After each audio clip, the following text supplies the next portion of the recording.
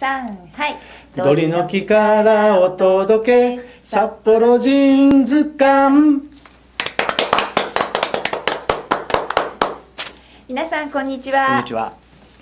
札幌でご活躍の方を1年365日毎日ご紹介しております札幌人図鑑私案内人の福津京子です。そして今日のゲストはハンマーダルシマー奏者の小松崎健二さんです。小松崎です。よろしくお願いします。はいよろしくお願いします。小松崎さんといえば、はい。ハードトゥファインド。はいそうですね。はい、えーラジオ番組も長いですね。もう10年以上やってますね、はい。はい。火曜日の4時からはい。札幌村ラジオというコミュニティ FM でやっております、番組名は「アイアムダルシマン」と言います はい「アイアムダルシマン」いいですねなんかこうブチ柄のワンコが出てきてそうそうそうそう。違うか。あのね「アイあアイアムアン」が正しいよって指摘されたことありますね。英語詳しい人から。そうなんですか、はい「アイアムダルシマン」番組。なるほど、はい、えーラジオ番組の方もぜひ聞いてみてください、はい。えーこのハンマーダルシマーっていうのは本当にねあのとても、えーユニークな楽器でございますね,、うんそうですね。うん。あの後ほどたっぷりと伺ってあの、はい。演奏していただきたいと思います、じゃあそのことも含めて小松崎さんってこんな人3つのキーワードで伺ってまいります、はい。3つのキーワードこちらになります。じゃん音色が綺麗でとっつきやすいが難しい、はい。自由な時間が欲しくて23歳で飲食店を。もうちょっと愛好家が増えてほしい。はい、今日はこの3つのキーワードで伺ってまい りますさあたこのハンマーダルシマーというね、えー楽器なんですけれども、えっと出会いはどういったところだったんですか？出会いはね僕もともとあのバンジョーというカントリーで使う楽器を弾いてたんですけども、はい。はい、これ学生時代からずっと夢中になってやってたんですがえーそれでカントリーのビデオを見てる時にこのはいハンマーダルシマを演奏するシーンが出てきたんですね、はいはい。でこれは面白い楽器だなと思って、ええよしやってみよう自分でもやってみようと思って、はい。26歳の時でしたね。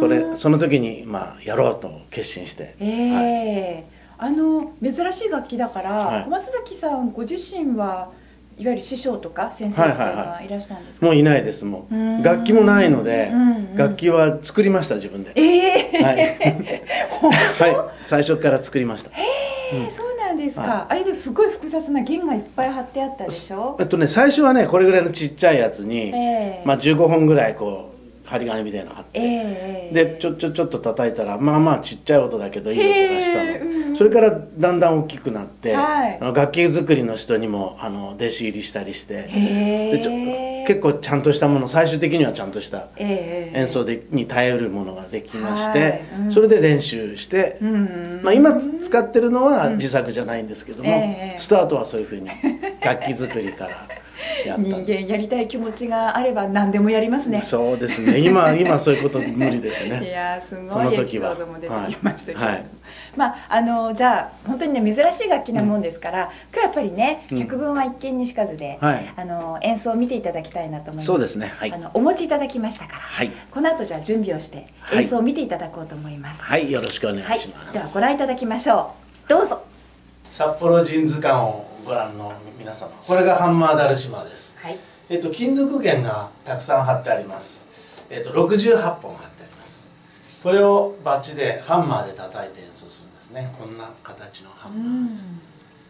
でこれまあいろいろ材質があるんですけども、えー布が貼ってあったり、えーなんかこうフェルトみたいなはい、もうちょっと近づけてみていいですか、はい。ああなるほど。感じがへえ貼ってあるんですよ2ええ。つこれでこういうふうに3本指で持ちます。はい、こうです。うん。これでたいよいよ叩きます、はい。こういう感じ。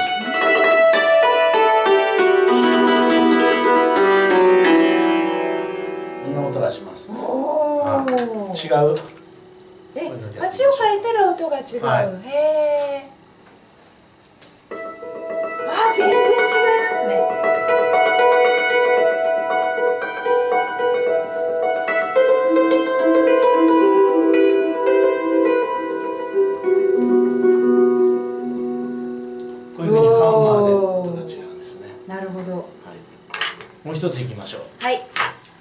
木の葉っぱこれはあんまり布とかはいこれは何も貼ってない木のそのままですねはいこドレミファソラシド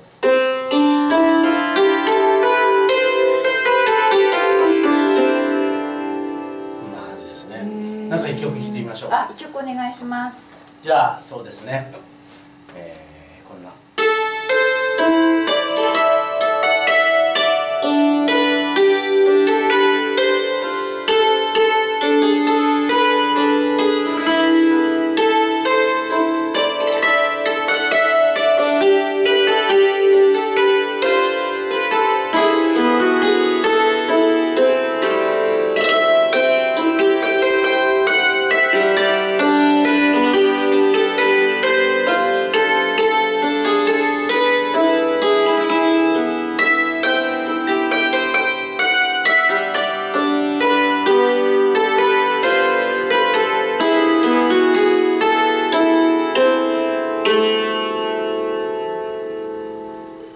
一箇所間違えました。ご愛嬌でありがとうございました。いやーなかなかあれは全部、まあ重さは一人でいつも来られ、そうですね。あの、うんもう今週末からね、あの九州に旅行に行くんですけども、まあ演奏旅行、えー、大体13キロあります。はい。はい。で荷物がうん普通10キロちょっとぐらい、えーだから全部で25キロぐらいにはなります。そのカバンの中に CD がいっぱい入ってるので、はい。それが売れれば帰りは軽くなるという。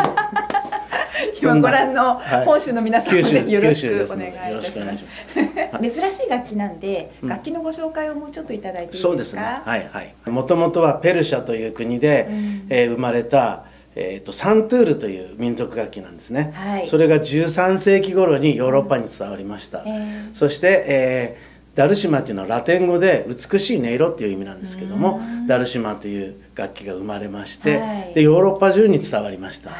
で、えーヨーロッパ各地でドイツとか東ヨーロッパとか、えーロシアとかいろんなところにこう分布していくんですけどそれぞれの国のチューニングになって、うんうん。音になってはい。いくんですが、えーダルシマっていうのはイギリスとかアイルランドに伝わった楽器なんですね。うん。でそれが、えーピアノという楽器の先祖になってピアノが18世紀に発明されるんですよ、はい。でピアノができてからはハンマーダルシマはあんまり西側諸国では演奏されなくなって、はい。もうずっと廃れていくんですけど、うん。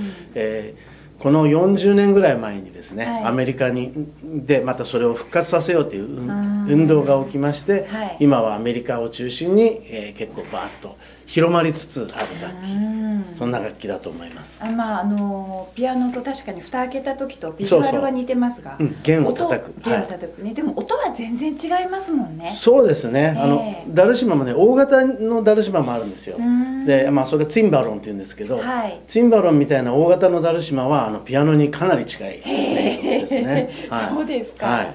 い、やあの小松崎さんが惚れ込んだだけある本当に音色があの美しくてですね、はいそうですね。あのうん。心洗われる、あの一度聴いたらファンになる方もたくさんいらっしゃるだろうなこれはとはいはい。思いました、うん。